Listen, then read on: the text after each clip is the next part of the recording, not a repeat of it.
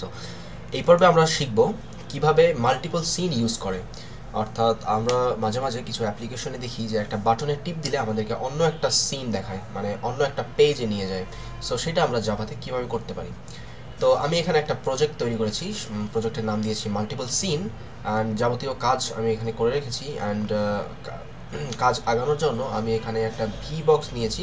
এটার হাইট তিনশো উইথ পাঁচশো অ্যান্ড একটা সিন নিয়েছি। সিনের ভিতরে ভি বক্সটাকে পোস্ট করেছি অ্যান্ড আমার প্রাইমারি স্টেজে আমি এখানে সিনটাকে সেট সিন করেছি।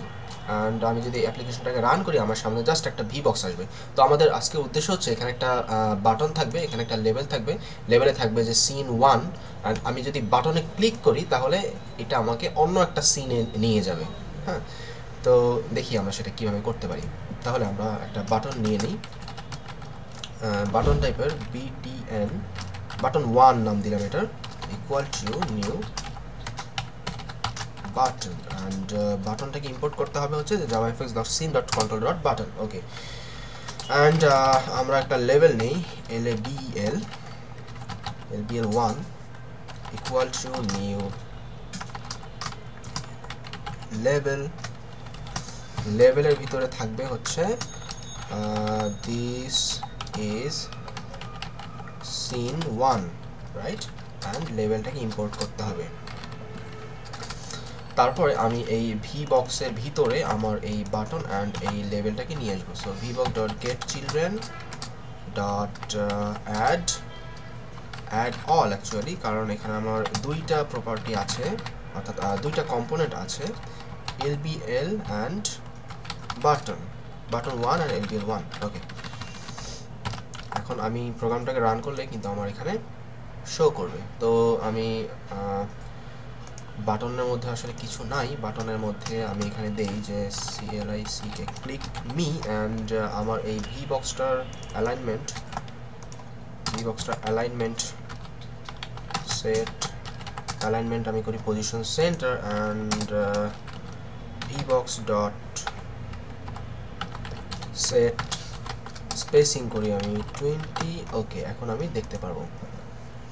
এই সিন ওয়ান এখন এখানে ক্লিক করলে আমাদেরকে অন্য একটা সিনে চলে যাবে এবং সেই সিনে দেখাবে যে this is scene two right এই বাটনটাও থাকবে না জাস্ট সিন টু এটা।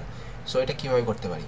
সো আমরা আলাদা আরেকটা সিনে চলে যাব। তো ওই সিনটা আমাদের আগে ক্রিয়েট করতে হবে। অ্যান্ড ওই সিনের ভিতরে আমাদের এখানে যেমন এই সিনের ভিতরে একটা ভি বক্স আছে ঠিক তেমন হবে। ওই সিনেও একটা ভি বক্স আমাদেরকে রাখতে হবে। তো এখানে যেমন একটা ভি বক্স রয়েছে ভি বক্সে এই প্রপার্টিগুলো আছে, এই সব কিছু আছে অ্যান্ড এই ভি বক্সের ভিতরে সিনের মধ্যে আমরা ভি বক্সটাকে শো করাইছি। সো একইভাবে আমরা আর একটা সিন করব অ্যান্ড এখানে কমেন্ট করে দিই যে this is for scene two right okay এখন সিন টু এর ভিতরে আমরা আবারও একই কাজ করব। তো আমরা এখান থেকে এই জিনিসগুলোকে একটু না, আমি কপি না করে আমি টাইপ করি। ভি বক্স টাইপের V box two V two হ্যাঁ two new V box right so V box two dot set minimum height হবে হচ্ছে আমার uh, তিনশো। আমি চাচ্ছি একই রকম থাকুক জিনিসটা। Vbox2 dot set minimum with হবে পাঁচশো। হ্যাঁ অ্যান্ড এই জিনিসটা আমি ইচ্ছা করলে কপি করতেই পারি। যেহেতু আপনারা বুঝতে পেরেছেন এখন আমি ওকে এখানে just V box two so set alignment position dot centre and set spacing twenty right okay এখন আমি V box two dot get children dot add all প্রথমে আমার, ও অ্যাডল কি করব? আমি তো এই নতুন যে ভিবক্সটা আনলাম ভিবক্স টু এটার জন্য কোনো বাটন তো আমি আনিনি বা কোনো লেভেল তো আনিনি। So L A B E L level টাইপের L B L two equal to new level right and লেভেলের ভিতরে আমরা বলব this is second scene okay and add all আমরা ভিবক্স টুতে লেভেল টুটাকে অ্যাড করব। ওকে এখন আমাদের যেহেতু দুইটা সিন সো আমাদের আর একটা সিন তৈরি করতে হবে। অ্যান্ড তো এখানে আমরা এই সিনের পরে এখানে আমরা আর একটা সিন তৈরি করে ফেলি।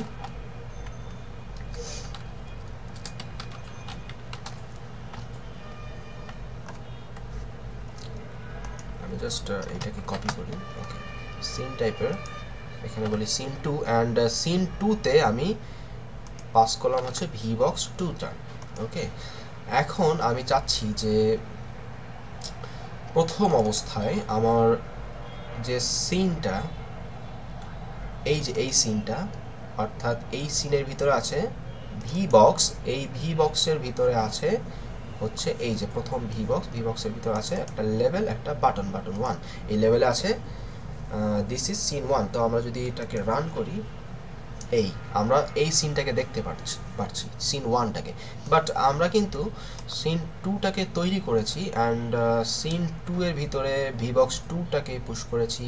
ভিবক্স টু এর মধ্যে আমাদের আছে একটা লেভেল লেভেলে আছে this is content this is second scene এখানে বানান ভুল হয়েছে okay this is second scene but সেটা কিন্তু আমরা দেখতে পাচ্ছি না। আমরা চাই যে এই বাটনে ক্লিক করলে সেটা আমরা দেখতে পারব। তো আমরা একটা এই বাটনে ক্লিক অন অ্যাকশন দিতে হবে আমাদেরকে সো সেটা দিয়ে ফেলি। সেটা দিব আমরা এই যে, এইখানে বাটনের ক্লিক অন অ্যাকশন সো এই বাটন আমরা এটা যে কোনো জায়গায় দিতে পারি আসলে, এখানেও দিতে পারি। জাস্ট এই বাটনটা ডিক্লেয়ার করার পরে আমাদেরকে যে কোনো জায়গায় এটা দিতে পারি।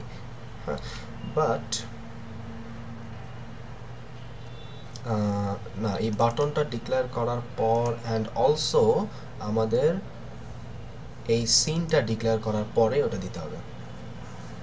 এটার কারণটা আমি পরে বলতেছি, আমি আপাতত এখন করে ফেলি জিনিসটা।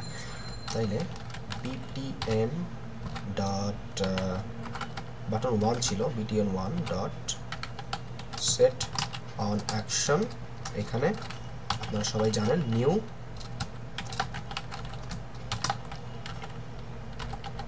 হ্যান্ডলার অ্যাকশন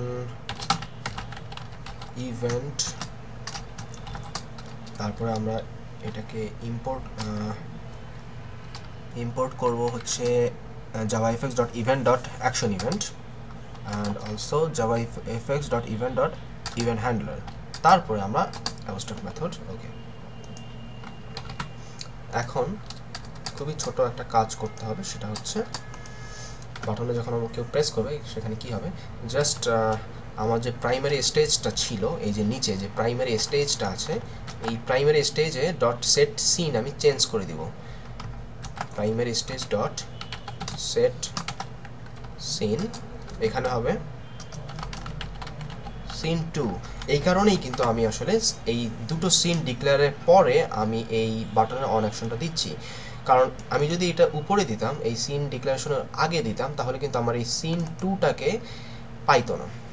হ্যাঁ যেমন আমি যদি এটাকে কপি এটাকে যদি এটাকে কাট করে এখানে যদি দেই, তাহলে কিন্তু আমার এখানে একটা ইরোর দেখাবে অ্যান্ড এই যে সিন টুটা লাল হয়ে আছে অ্যান্ড এখানে আমাকে বলবে যে ক্রিয়েট লোকাল ভেরিয়েবল সিন অর্থাৎ এই ফাংশনের ভিতরে কোনো ভেরিয়েবল সিন টু নাই।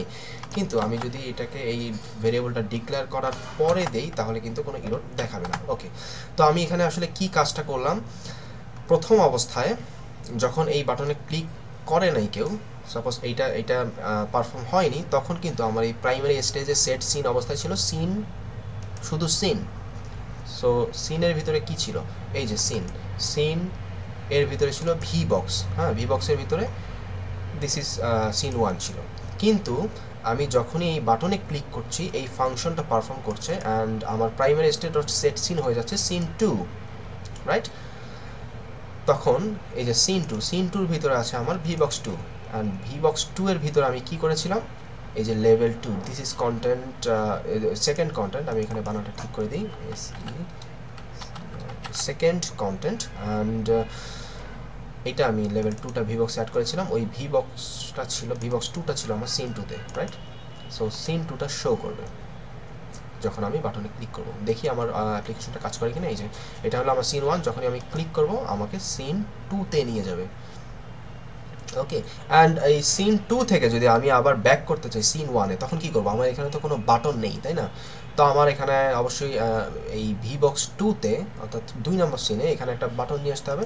তো আমি সেটা করে ফেলি, এখানে একটা বাটন নিয়ে আসি আমি। লেভেল টু আছে, এখানে একটা বাটন নিয়ে আসি। বাটন টাইপের এটার নাম দিই button two equal to new button and এখানে click here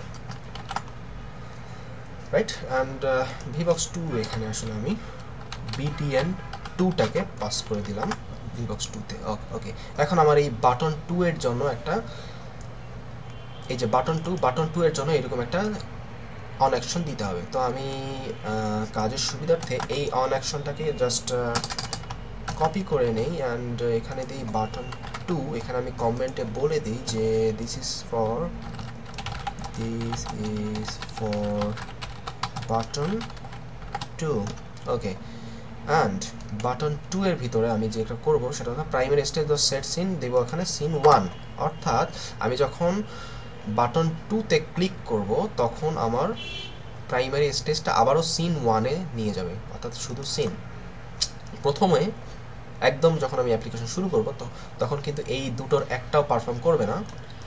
সো তখন আমার প্রাইমারি স্টেজ সেট সিন হয়ে যাবে প্রথম সিনটা ওকে তারপর যখন আমি বাটন ওয়ানে ক্লিক করব, তখন সেট সিন হবে সিন টু দুই নাম্বার সিনে চলে যাব।